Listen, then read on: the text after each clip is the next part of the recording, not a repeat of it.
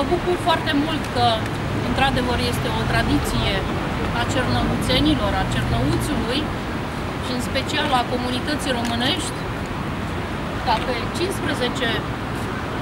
iunie, la fel cum se întâmplă și pe 15 ianuarie de ziua nașterii Marelui Poet, de ziua Culturii Naționale, românii din uh, Bucovina, românii din regiunea Cernăuți,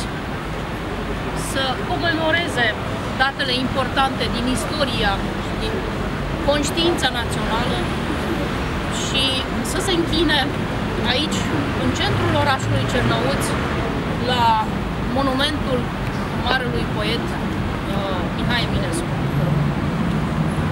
Uh, este o zi importantă în care astăzi ne propunem împreună cu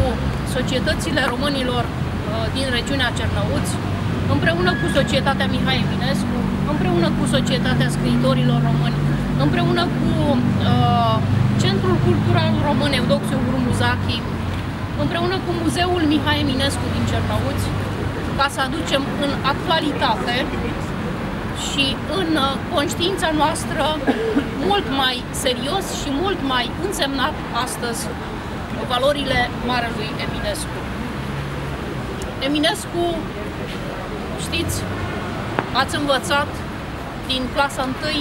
și toată viața învățăm din Eminescu. S-au scris și se vor scrie foarte multe studii despre Eminescu, dar pașii pe unde a trecut poetul rămân pași însuflețiți cu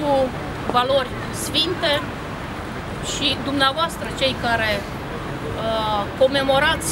și uh, păstrați în conștiința dumneavoastră națională atât de bine pașii lui Eminescu aici în Cernăuți, aveți această mare ocazie, prilej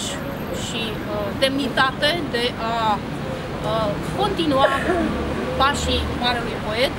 și de a-l aduce de fiecare dată în actualitate. Fie că suntem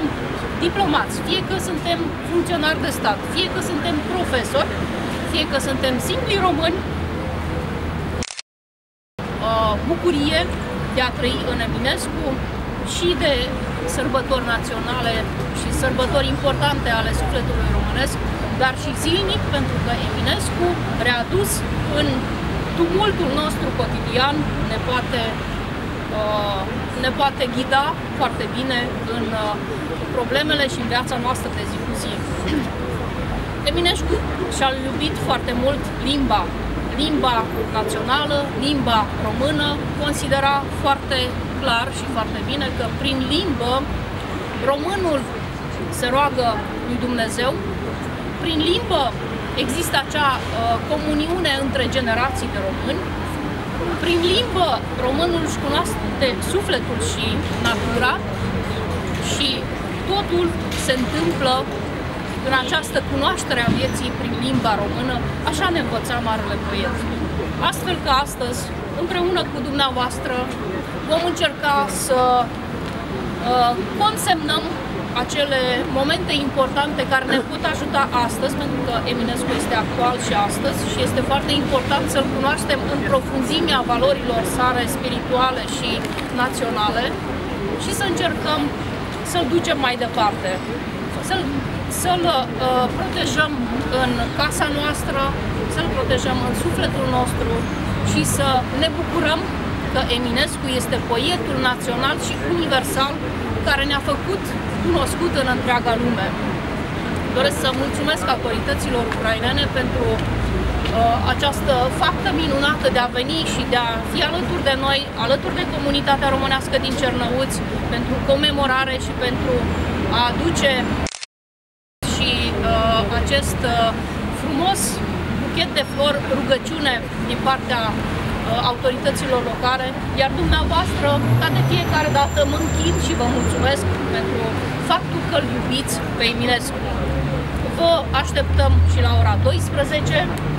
împreună cu domnul Ilie Tudor Zegrea, la Biblioteca Regională Mihailo Ivasiu de aici, din Cernăuți, ca să continuăm să discutăm astăzi despre Eminescu și la ora 14 la Muzeul Etnografic Regional, unde vom avea o expoziție de asemenea. Doamna Tărățeanu, domnul academician Tărățeanu ne invită să cunoaștem profunzimea gândurilor eminesciene. În numele statului român, vă mulțumesc încă o dată că sunteți și păstrați vie aceste uh, valori frumoase în Eminescu, iar autorităților ucrainene, încă o dată le mulțumesc că sunt alături de noi, alături de valorile culturii românești, aici la Cernovci. Щиро дякую вам за те, що ви сьогодні разом з нами і разом з румунською громадою е, вітаєте такі гарні події, які відбулись у історичній, у історичних Чернівцях е, з Емінеску. Дякую.